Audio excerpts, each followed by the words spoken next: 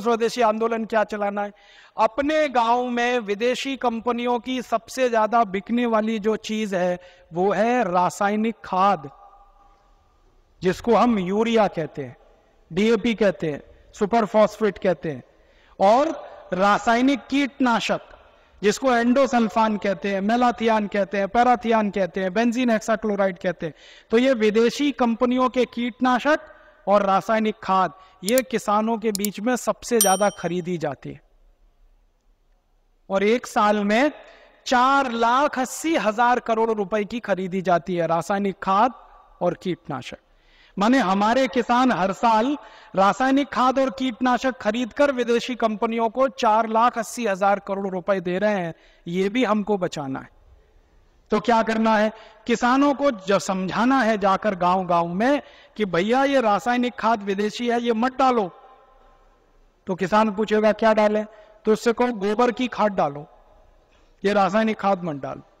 तो किसान पूछेगा, जी, गोबर की खाद में फ़ायदा कम है रासायनिक खाद में फ़ायदा ज़्यादा है तो उसको बड़े प्रेम से समझाना है कि गोबर की खाद में ही फ़ायदा ज़्यादा है।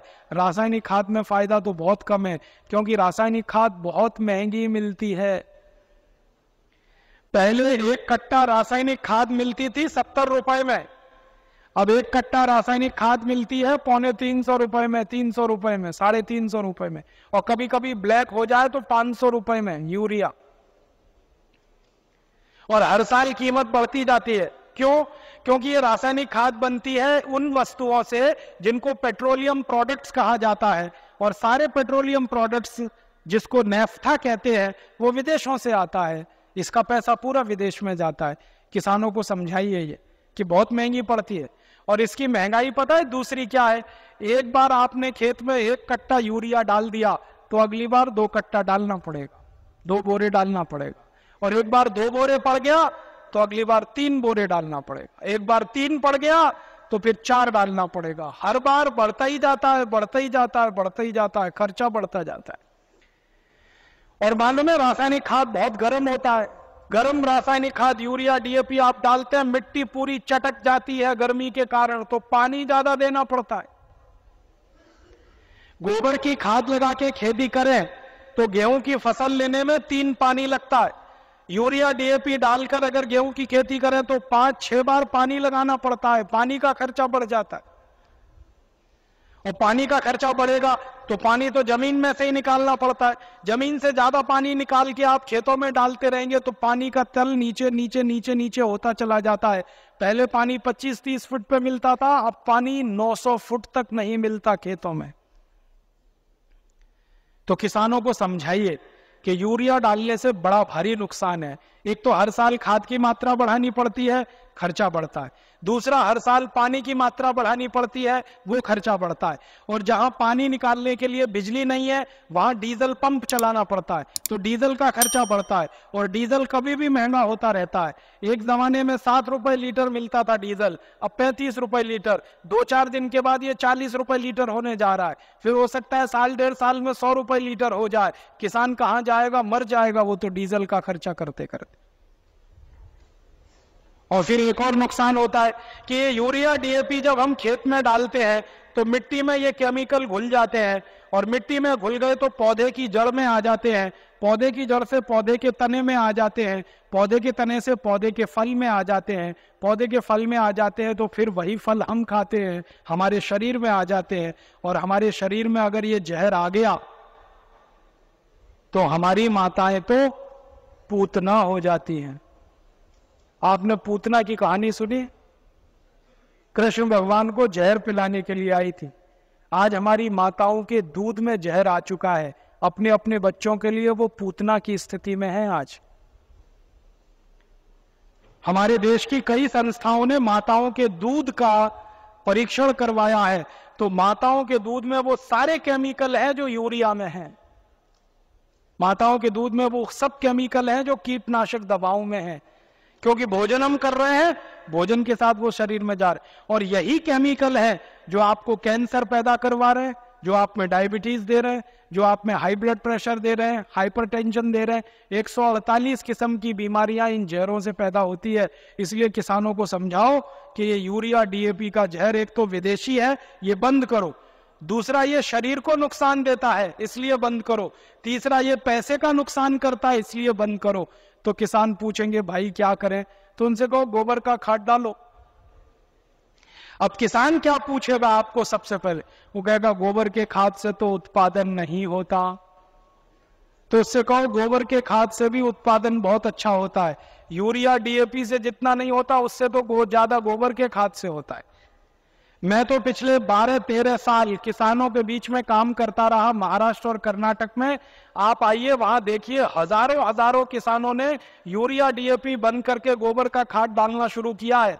और जिस किसान के यूरिया डीएपी के खेत में एक एकड़ में 20 से 25 मीट्रिक टन गन्ना होता था, आज उस किसान के खेत में गोबर का खाद डालने से 90 से 100 मीट्रिक टन गन्ना हो रहा है। कम नहीं होता है।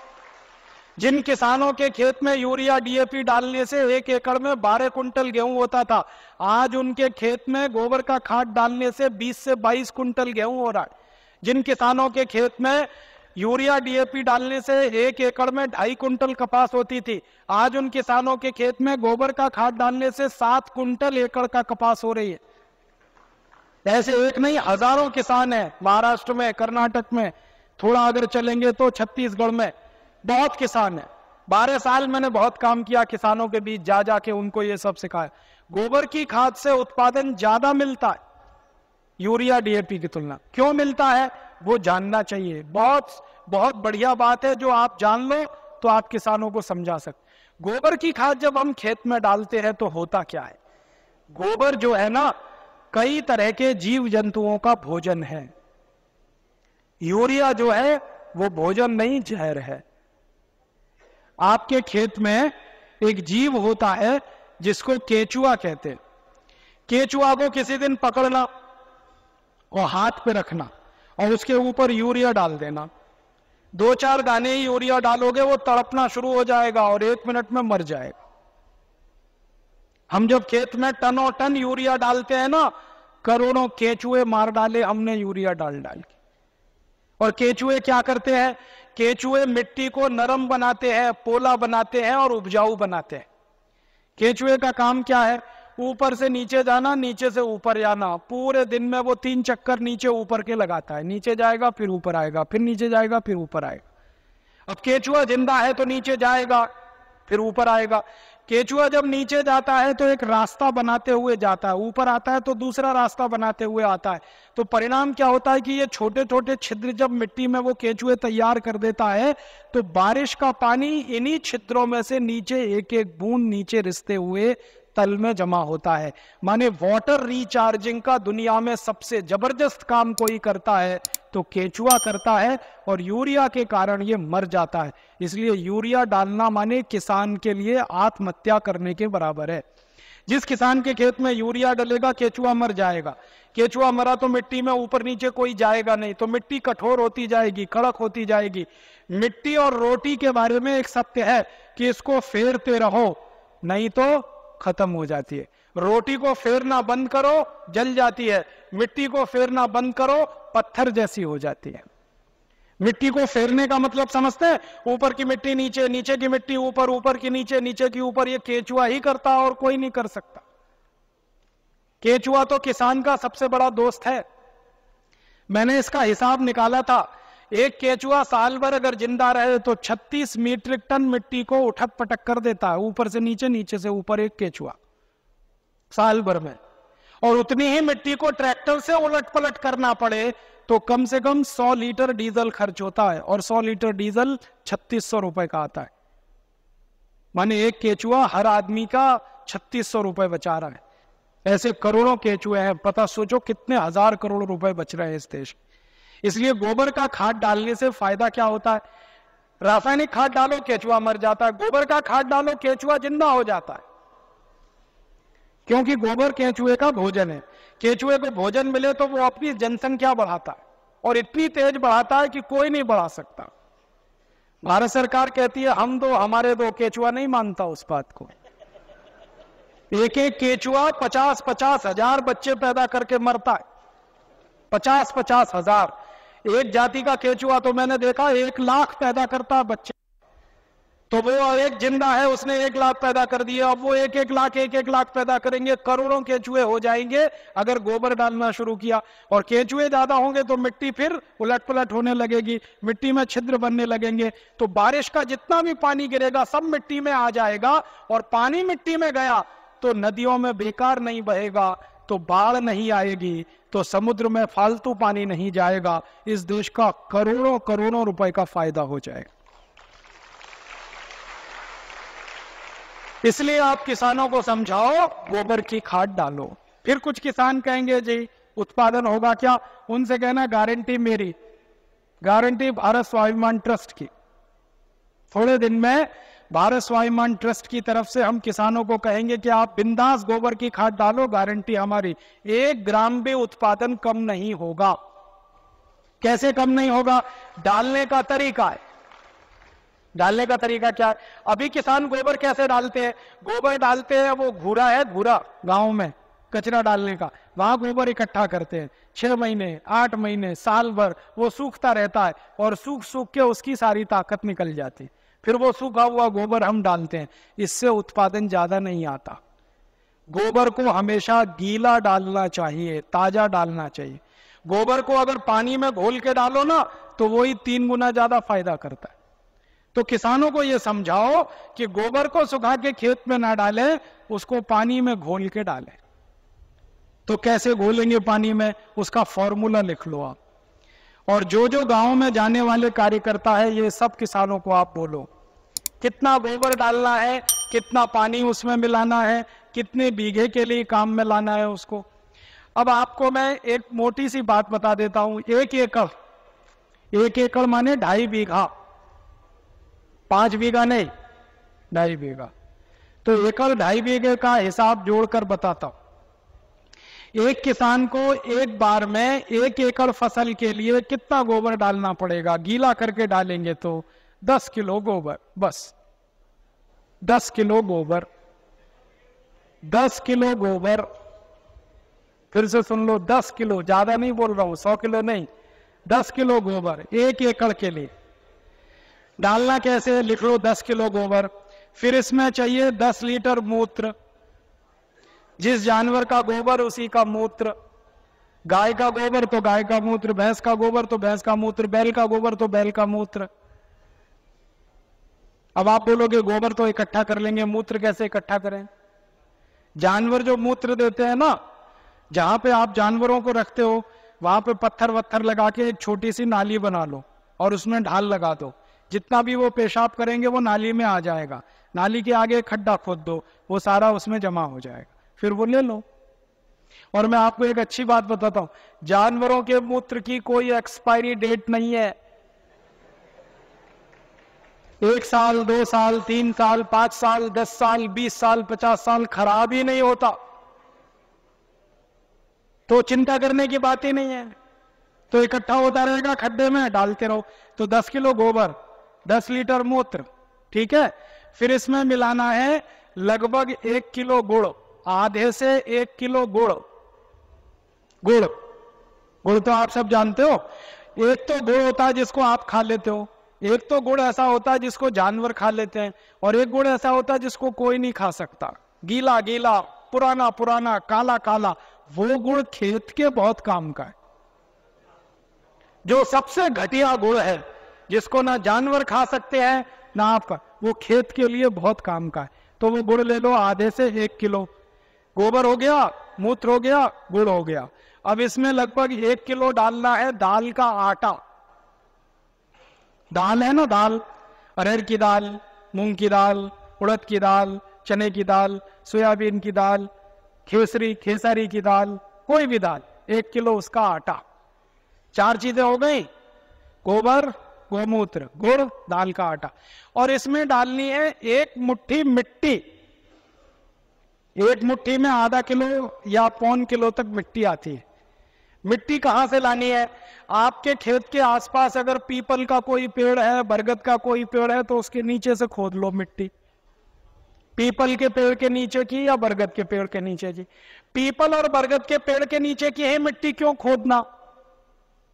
आपको मालूम है पीपल और बरगद के पेड़ हर समय ऑक्सीजन देने वाले पेड़ हैं।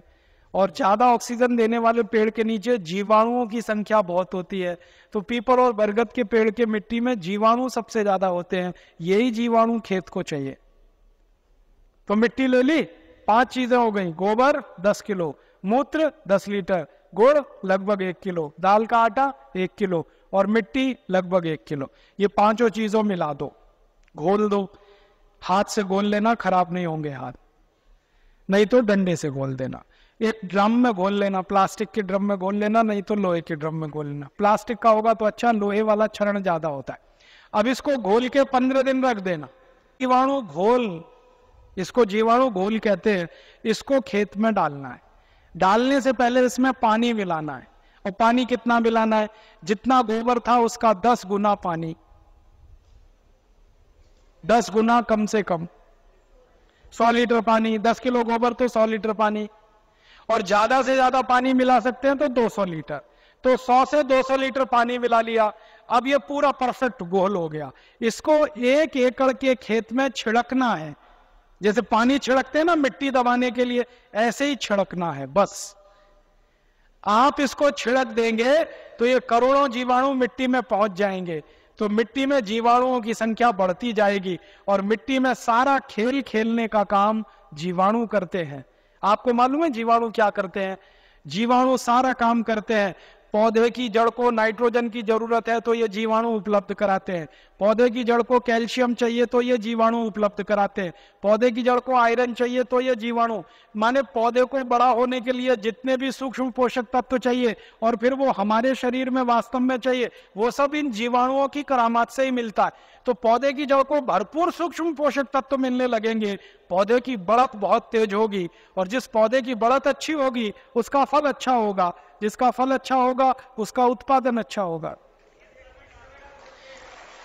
अब इसमें समय लिख लो, कितने बार डालना, कब डालना। सबसे अच्छा तरीका यह होता है कि खेत को जब जोतने की तैयारी करें ना, जोत है।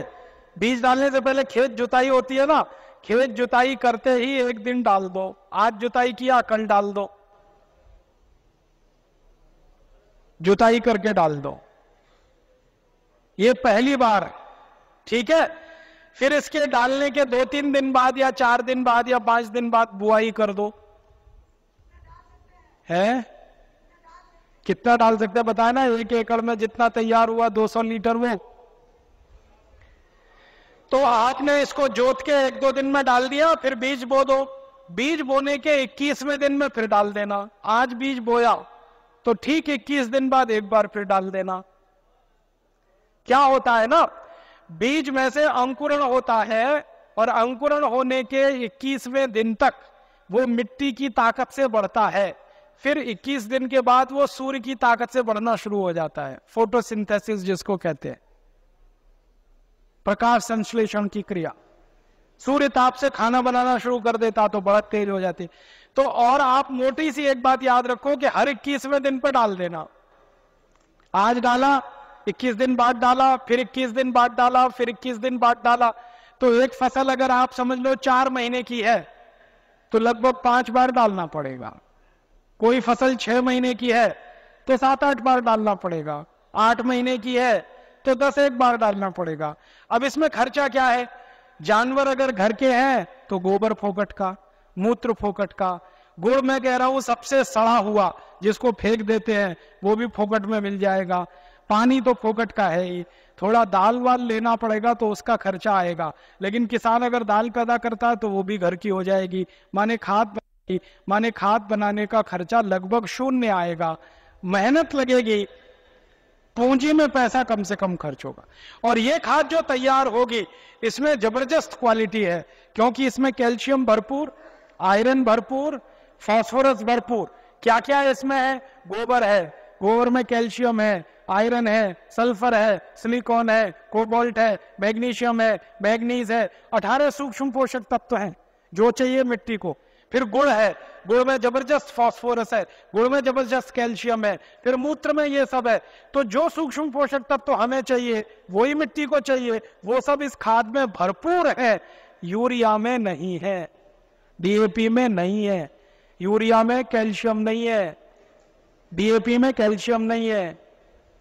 और कैल्शियम सबसे प्रमुख आधार है मिट्टी के लिए, क्योंकि खेत में कैल्शियम होगा तो पौधे में होगा, पौधे में होगा तो फल में होगा, फल में होगा तो भोजन में होगा, भोजन में होगा तो शरीर में होगा, शरीर में होगा तो हड्डियाँ मज़बूत हड्डियाँ मज़बूत तो शरीर मज़बूत, ये सारा साइकिल इसी कैल्शियम के उस पर तो ये तो गोबर की खाद से ही मिलेगा, यूरिया, डीएपी से मिलने ही वाला नहीं है।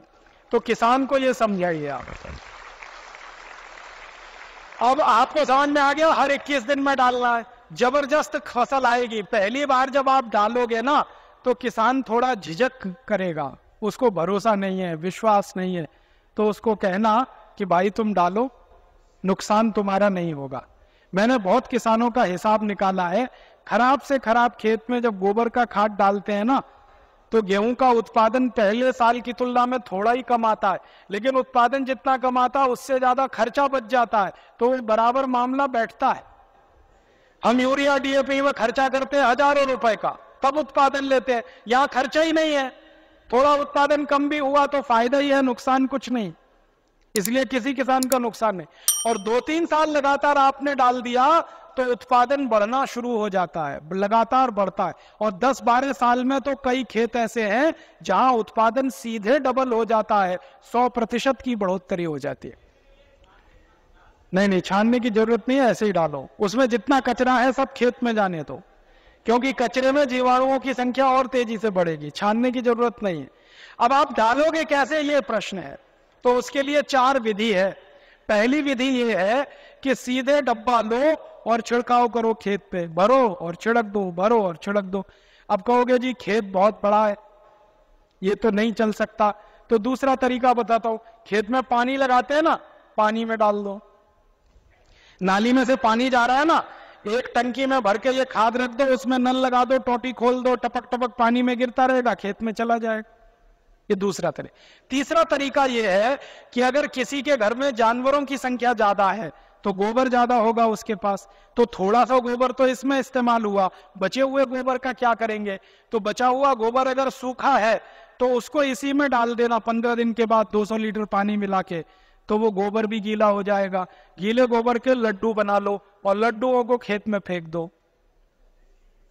तो खाद पहुँच जाएगा। और एक तरीका है, खेत में से मिट्टी खोद लो। मिट्टी खोद लो। मिट्टी में ये पूरा घोल मिला दो। मिट्टी गीली हो गई, मिट्टी के लड्डू बना लो। लड्डुओं को खेत में फेंक दो तो खाद पहुँच जाएगा तो पानी के साथ दे सकते हैं, छिड़क के डाल सकते हैं, गोबर या मिट्टी को लड्डू बना के डाल सकते हैं। और एक आखिरी तरीका है, स्प्रे मशीन अगर अपने पास है तो उसका आगे से नोजल निकाल दो। नोजल निकाल दो, फिर उससे स्प्रे कर दो। अब इसमें ध्यान ये रखना है कि ये फ़सल पे स्प्रे नहीं होगा, ये ज़मीन पे होगा, मिट्टी पे होगा। फ़सल पे डालने से फ़ायदा नहीं मिलेगा, मिट्टी में डालना है इसको। तो अगर फ़सल ऊँची है, तब कैसे डालेंगे? तब तो पानी लगाओगे, तभी डालना सबसे अच्छा है। इसमें एक तरीका यह है कि खेत का मुहाना होता है ना, जहाँ से पानी घुसता है। वहाँ एक आदमी को बिठा दो, डब्बा लेके पटक पटकता रहेगा, उसमें पानी के साथ जाता रहेगा। और पानी के साथ पूरे खेत में बराबर मात्रा में जाता है और रिज़ल्ट उसका सबसे अच्छा आता है। और एक तरीका है इसको डालने का।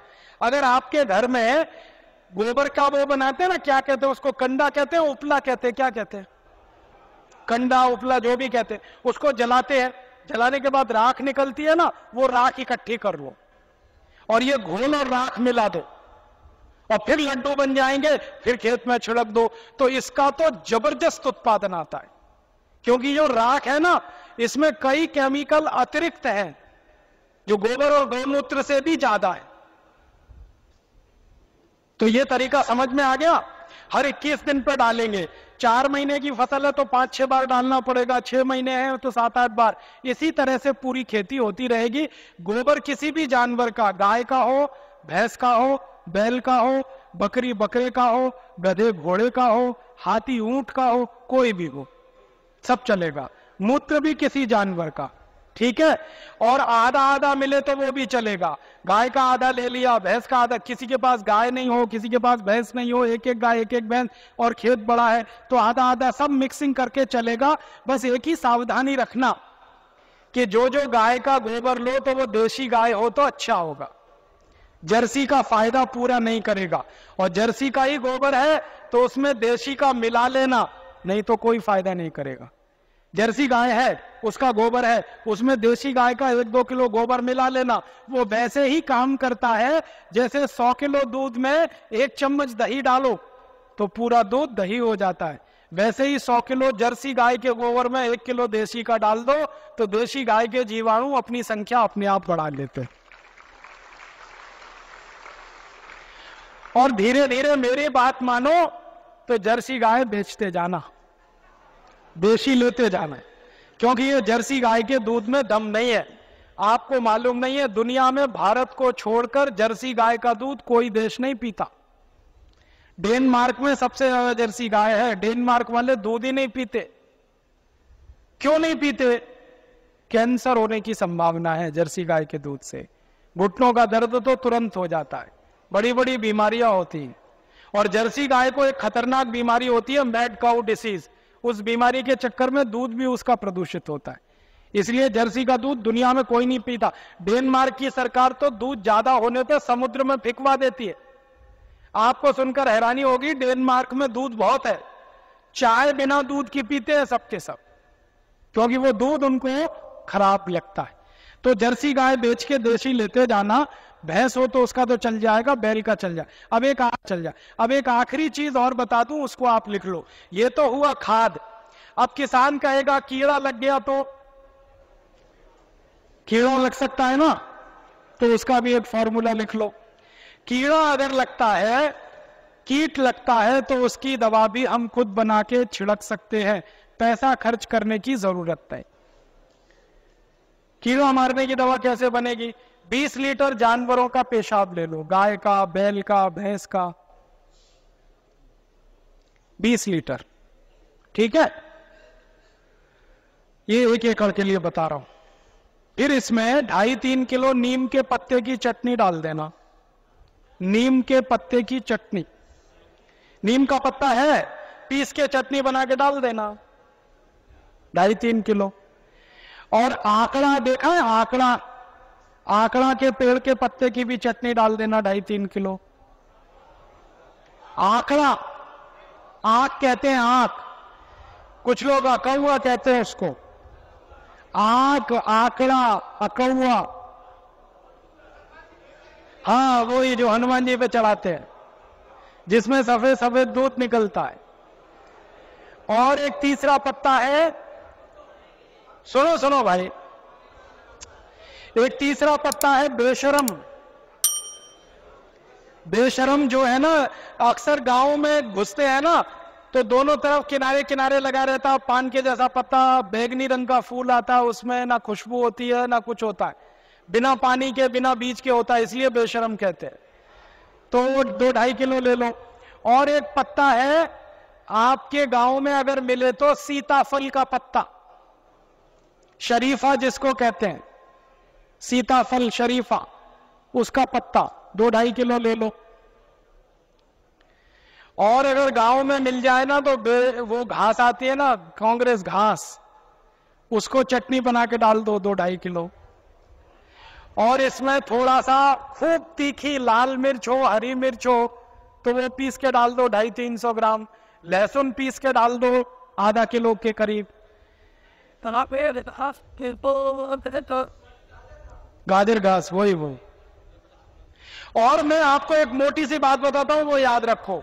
जिन जिन पत्तों को गाय नहीं खाती, फिर से सुनो, जिन जिन पत्तों को गाय नहीं खाती और आपके गाँव में उपलब्ध है, वो सब पत्ते पीस के डाल दो इसमें।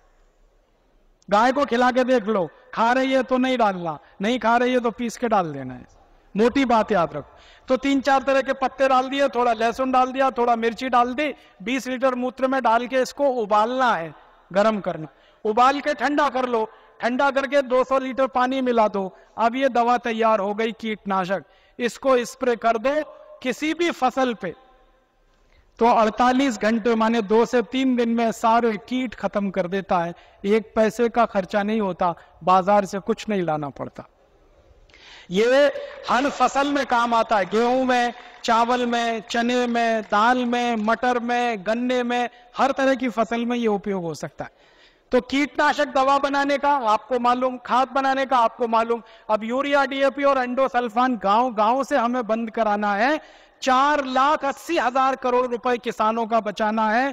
दो लाख बत्तीस हज़ार करोड़ रुपए शहर वालों का बचाना है। ये दोनों मिला दे तो करीब सात आठ लाख करोड़ रुपए देश का हम बचा सकते हैं स्वदेशी आंदोलन की ताकत से। और बाहर से जो इंपोर्ट हो रहा है, करीब सात लाख करोड़ का, अगर पक्के स्वदेशी वाले लोग हो जाए तो इंपोर्टेड चीज़ें भी बंद हो सकती है। चौदह लाख करोड़ का फ़ायदा। माने इतना बड़ा फ़ायदा हम पूरे देश को दे सकते हैं अपने स्वदेशी आंदोलन और अभियान से।